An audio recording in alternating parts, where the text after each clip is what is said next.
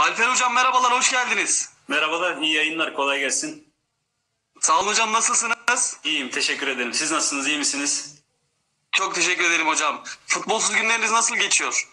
Yani malum bildiğiniz üzere sadece biz değil, bütün dünyayı etkileyen bir salgın maalesef. Ee, o yüzden evde kalmaya gayret ediyoruz. Mümkün olduğu kadar bir de bildiğiniz üzere İstanbul özellikle bu vakanın en yoğun olduğu şehirlerden bir tanesi.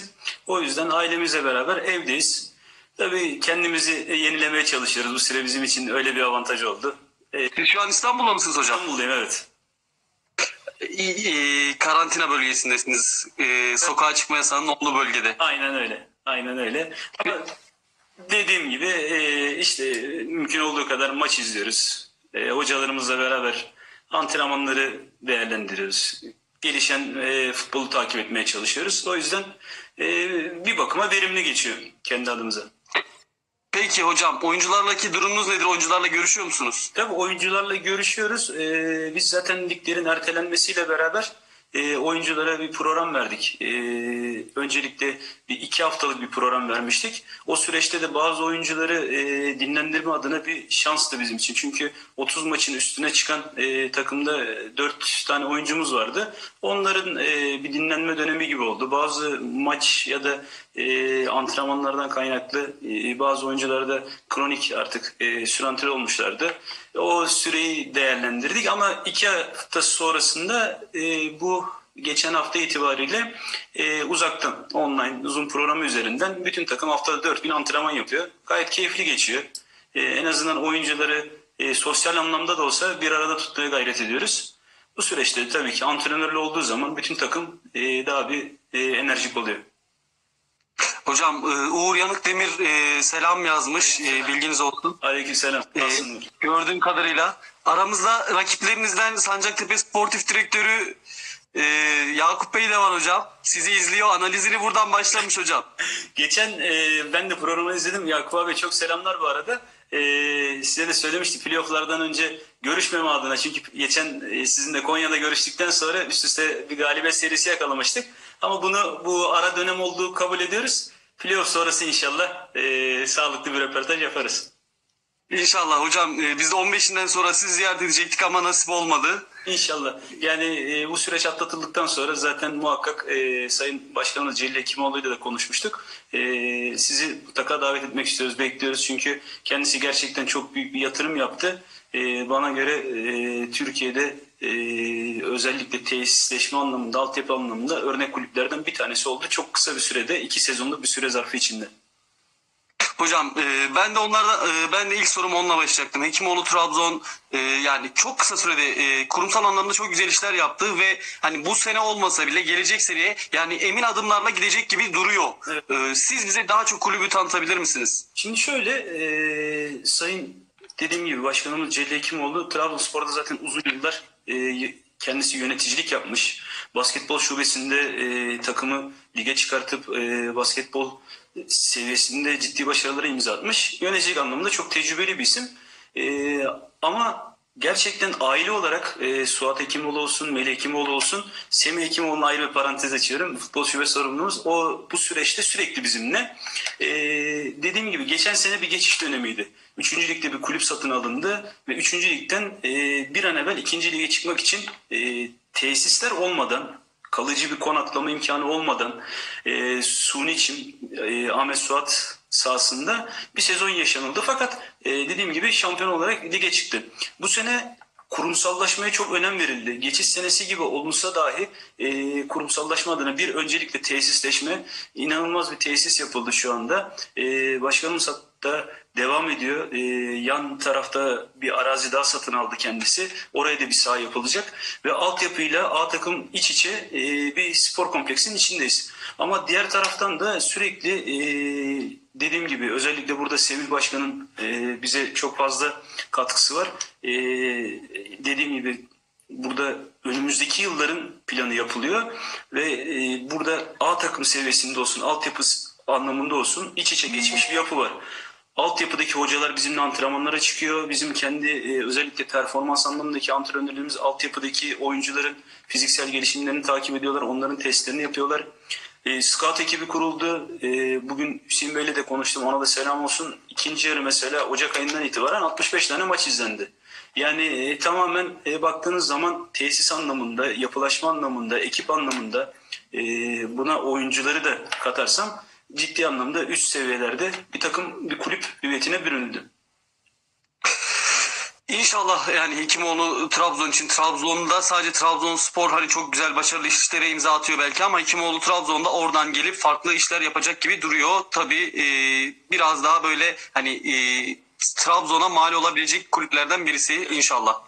Yani şu anda Trabzon... Hocam e, Evet, lafınızı bölüyorum. Buyurun hocam. Trabzonspor'dan sonra evet yani burada e, Trabzonspor'a bir rakip olmaktan ziyade Trabzon'un öz kaynağını oluşturabilecek. e, kendi altyapısından yetiştirdiği oyuncularla çünkü gerçekten Hekimoğlu ailesi çok büyük Trabzonsporlu. Benim de gözlemlediğim bir seneden beri oradayım. E, gerçekten e, Trabzon'a hizmet etmek istiyor ve bunu e, burada zaten herkes biliyor ama ben bir daha ifade etmek istiyorum. Tamamen kendi maddi olanaklarıyla Hekimoğlu ailesi e, bu taşın altına elini soktu. E, tabii ki devletimizin ya da belediyelerin çok e, yardımları oluyor muhakkak ama bu bütçe ortada ise yani 30-35 milyon TL'lik bir bütçe yaklaşık 2 senede e, tamamen Sayın Başkanı Celil Hekimoğlu'nun cebinden çıkan bir para. Peki hocam ligdeki konumuzu değerlendirecek olacak. Şu an için playoff mücadelesi verecek gibi duruyorsunuz. Aynı zamanda Sancaktepe'li de eşleşecek gibi duruyorsunuz. Neler söylersiniz hocam? Tabii e, ilk yarıdaki görüntüye baktığınız zaman e, Manisa'nın önüne gittiği bir lig. Samsun Spor'un e, özellikle e, İrfan Hoca'dan sonraki dönemi, iki döneme ayırmak gerekiyor.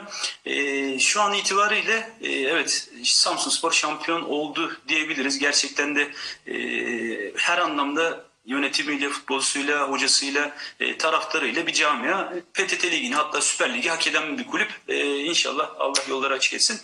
Bu arada Manisa ile alakalı e, şunu söyleyebilirim.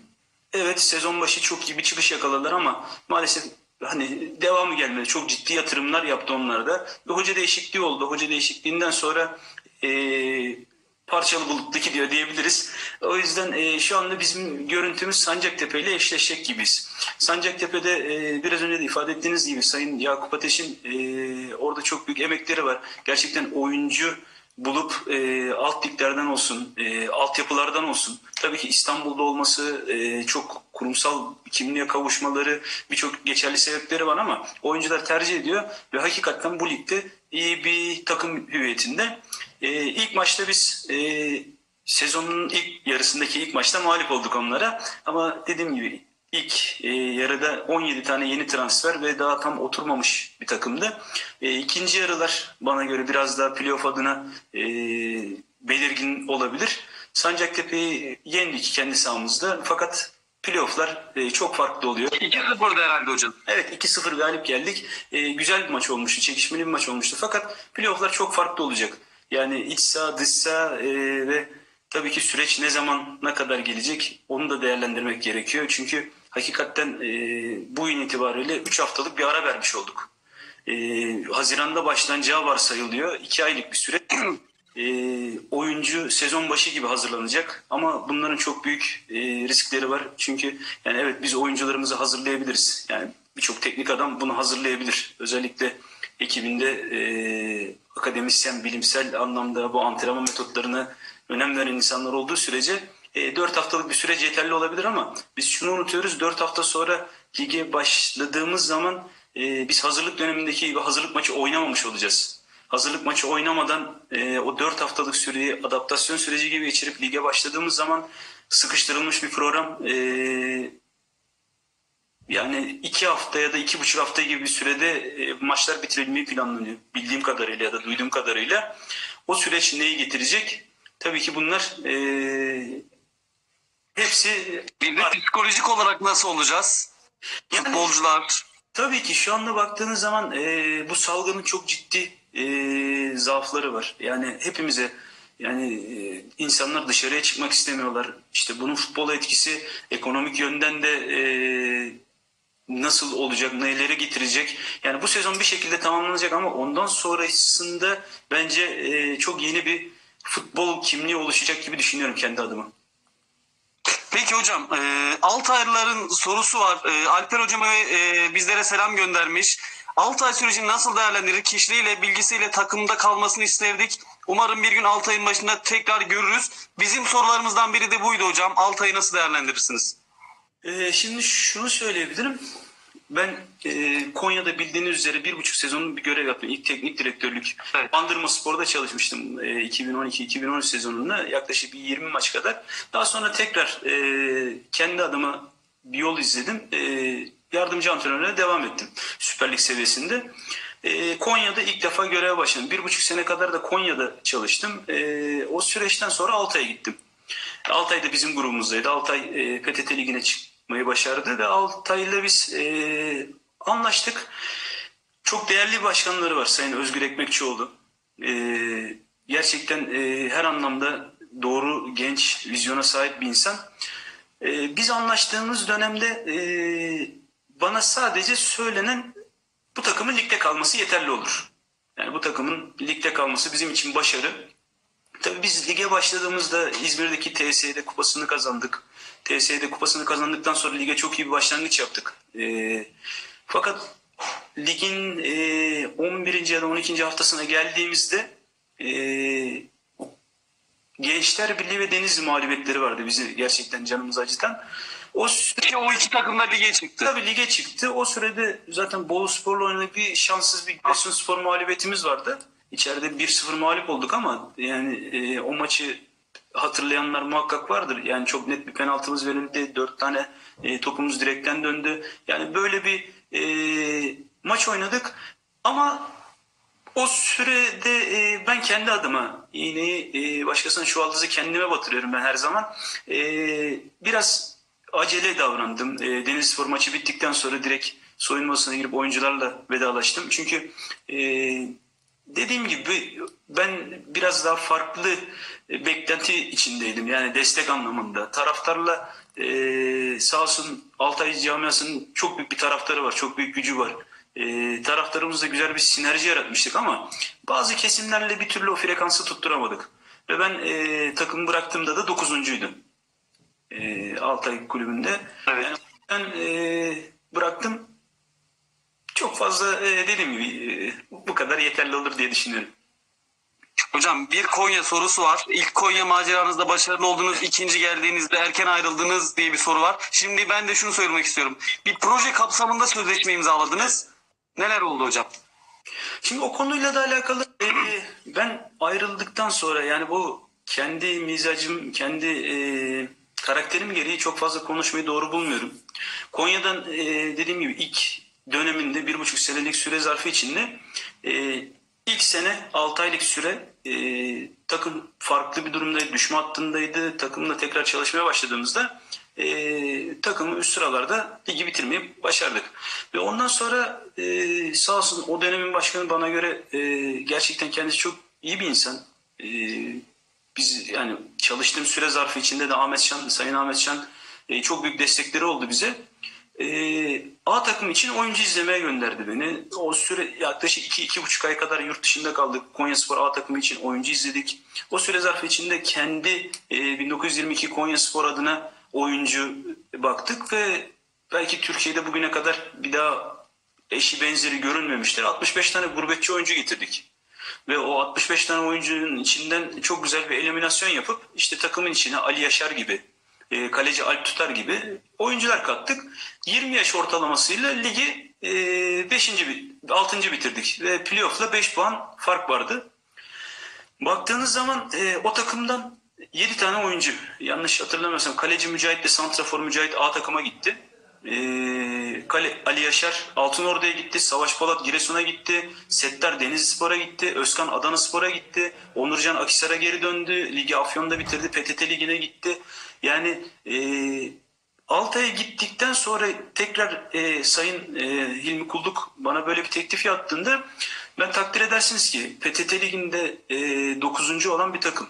E, 37 yaşındayım ve e, bunu da her yerde e, mutlulukla söylüyorum. Türkiye'deki futbolun içinde maalesef e, konuşulmaması gereken çok konu var ama e, herkes ya bu siyasi olabilir, bu e, menajerler vasıtasıyla olabilir ama Altay bana kendi talip oldu.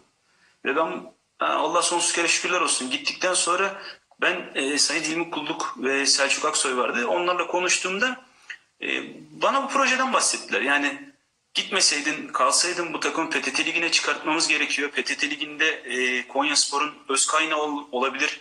E, hatta PTT'ye çıktığı zaman genç oyuncu bulup burada yetiştirip tekrar A takıma çıkarız gibi e, bir proje oluşturuldu. Uzun vadeli bir proje. E, hatta o dönemde Rıza Hoca vardı görevde ama e, Rıza Hoca'nın ileriye dönelik bazı yorumlar olmuştu orada.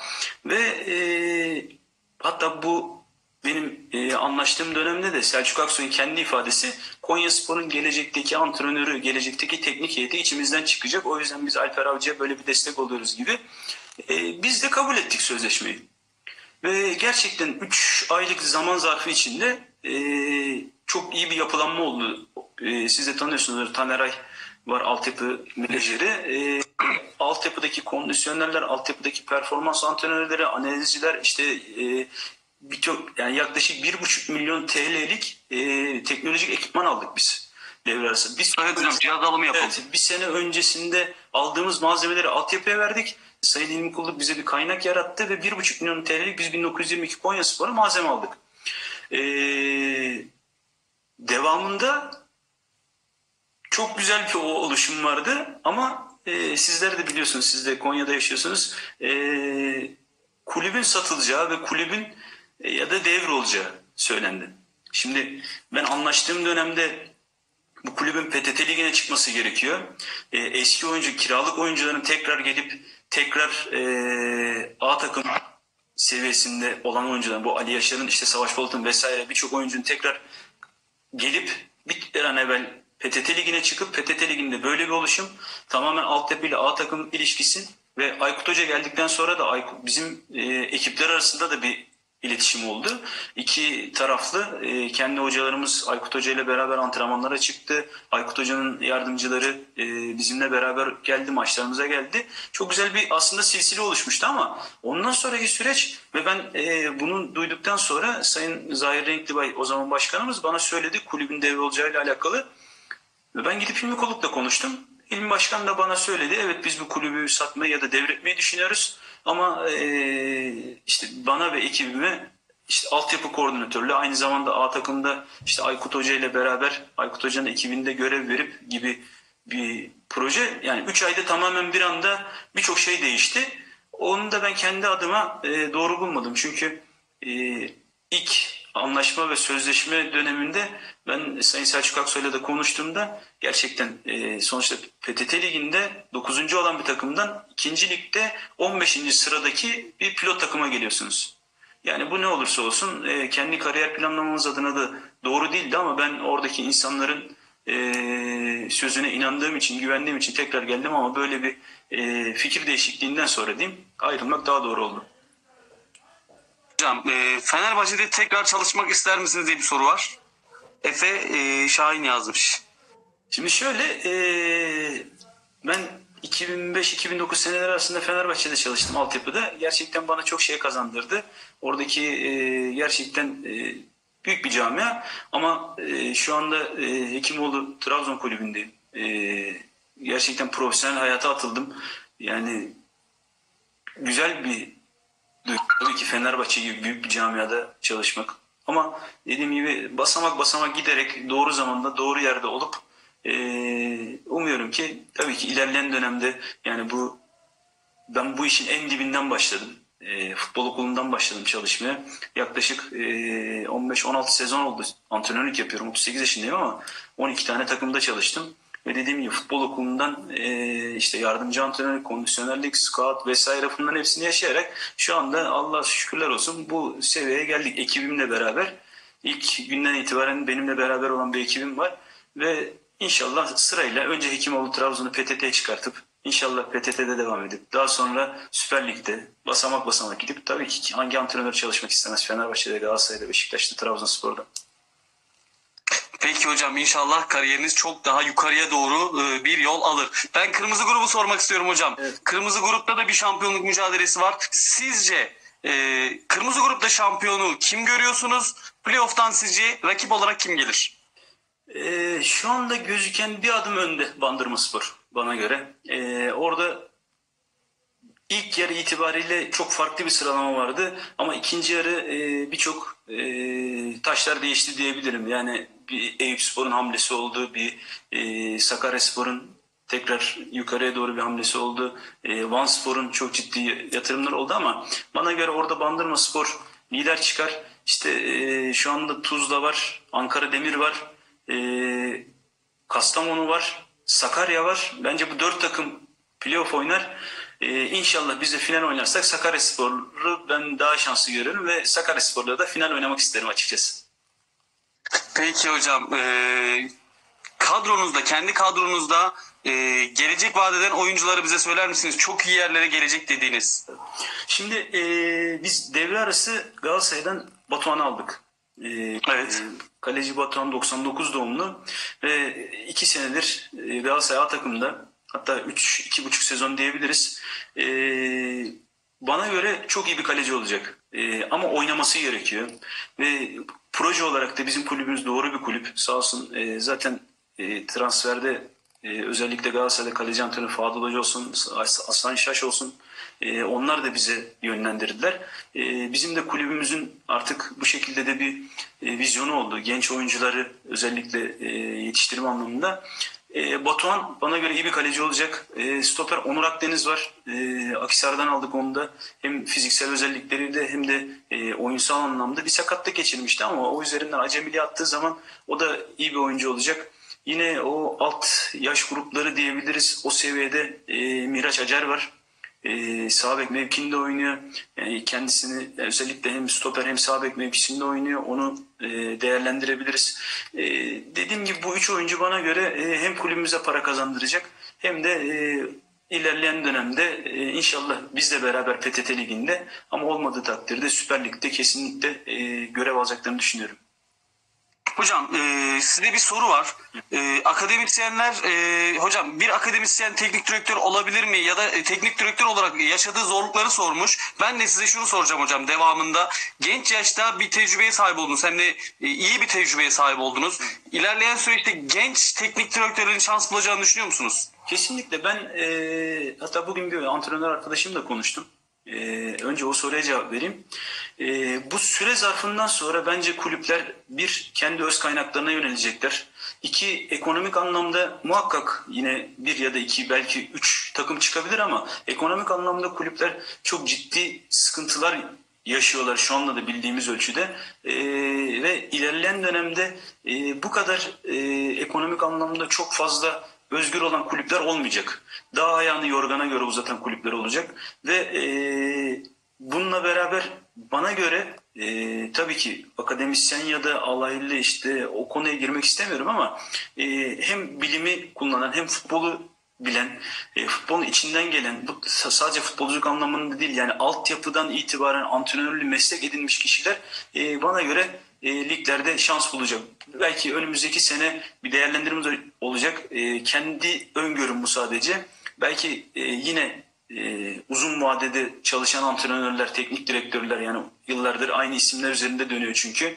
E, onlar belki tekrar şans bulacak ama onlar bu sefer altyapıdan gelen oyuncularla ya da e, daha gelişime yönelik, gelişime açık oyuncularla çalıştığı zaman e, başarılı olabilecek mi? Bence o soru işareti. Orada da e, ben başarılı olabileceklerini düşünmüyorum belli bir kesimin. Bu sefer tekrar e, genç, kendi e, taktiksel anlayışını sahaya yansıtabilen, idealist, altyapıya önem veren, genç oyuncu oynatmaktan korkmayan antrenörlere muhakkak şans gelecek. Ama tabii ki bunun en büyük ekonomi. Ee, inşallah hocam yani e, bu şekilde düşünen hatta şu an yayınımızı izleyen genç arkadaşlarımız da var. Muhtemelen yayın sonunda da izleyeceklerdir. Hocam e, bizleri kırmadınız yayınımıza katıldığınız için çok teşekkür ederim. Ben teşekkür ederim. Ee, umarım korona bittikten sonra tekrardan sizleri e, görmek nasip olur. İnşallah. Çok teşekkür ederim ben de. Buradan herkese selamlar, iyi yayınlar. Sağ olun hocam görüşürüz. Görüşmek üzere, sağ olun.